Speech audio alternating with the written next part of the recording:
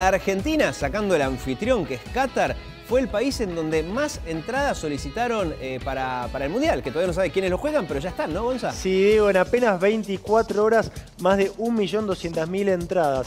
Eh, le, le, pidieron a, a, la FIFA, recordemos, ¿no? Hasta el 8 de febrero se pueden anotar para esta primera tanda. Es por sorteo, lo mismo si se hubiera anotado ayer como si se anotan el 7 de febrero, hasta el 8 de marzo después van a, a ir avisando de a poco.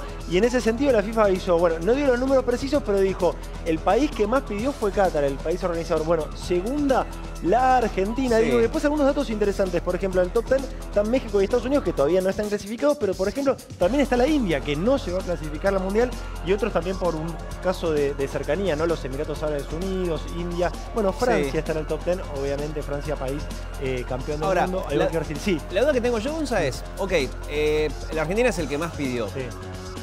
¿La tenés que pagar para, para que te la... Pues vos ayer contabas que esto es una reserva, sí. que es gente que la solicita y que de acá un tiempito, sí. hacer un sorteo y bueno, los favorecidos la reciben.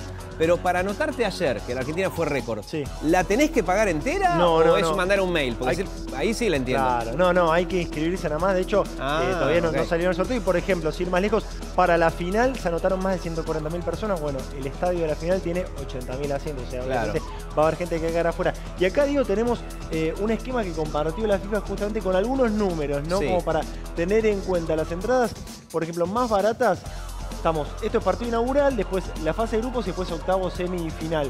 Desde 200, por ejemplo, para el partido inaugural, sí. desde 200 dólares hasta 2.250 los partidos más caros. ¿no? Ah, Acá categoría 1, sí, entiendo. Sí, también hay abonos por primera ronda y octavos. Y lo que lo decíamos, decíamos ayer, ¿no? teniendo en cuenta que Qatar es un país chiquito, hasta 50 kilómetros entre un estadio y otro, también hay posibilidad de hacer un combo por estadio o por selecciones. Okay. Vamos un poco más abajo, la final, digo, ¿no? La más, la más barata, la de accesibilidad. También hay que tener en cuenta cuenta, ¿no? Son precios, para unos casos, para los locales sale una cosa, para los Está extranjeros bien. Bueno, pero para extranjeros. Entre 750 y las más caras 5.850 dólares. Esto precio oficial, digamos, después sí, la reventa es otra cosa, pero para tener algunas ideas de lo que van a ser algunos de los números y que, bueno, a vos, a mí, a todos nos sorprendió. Nos sorprendió un poco, ¿no? La Argentina, digo, a pesar de la crisis, está segunda, ¿no? Detrás claro. del país organizador, sí. que te decía, tiene precios diferentes al resto de, del mundo. Ahora, lo que decíamos ayer, eh, sí. digo, para la gente que no nos estaba viendo, es que lo que abrió ayer es como el el pedido, la solicitud de entradas, ¿no? Que hay sí. como un lapso para que desde el mundo entero pidan la entrada. Pero que aparte lo que decían los organizadores es, mire que no es que se reservan hasta 2.000 y después se corta, no. Se pueden anotar todos los que quieran, que tal día se hace el sorteo y sí. les avisamos si fueron ganadores, sí, ¿no?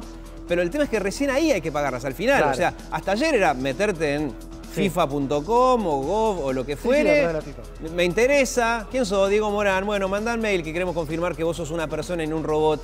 Y hasta ahí llegaste. Es ahí hasta el 8 de febrero, después okay. en marzo. ¿viste? Y después va a haber otra segunda tanda y así sucesivamente. Seguramente los precios eh, vayan cambiando. Digo, pero claro, en solo 24 horas, 1.200.000 entradas. Bueno, la FIFA solo por ventas de entradas planea recaudar más de 500 millones de dólares. Mira, y eh, vos decías ayer que eh, la, los precios de las entradas son más baratas sí. que las de Rusia, la de Rusia, 2018, ¿no? Sí, haciendo una comparativa con, con Rusia, por ejemplo, el partido inaugural eh, eh, o de primera ronda, más que el partido inaugural específicamente, en Rusia el más barato era 200 dólares, acá son 70 dólares para extranjeros, o sea, un tercio, ¿no? También hay que ver, ¿no? Si, si lo que quieren es eh, darle un poco también de masividad, teniendo en cuenta que, bueno, Qatar no es un país donde el fútbol esté demasiado desarrollado, digo.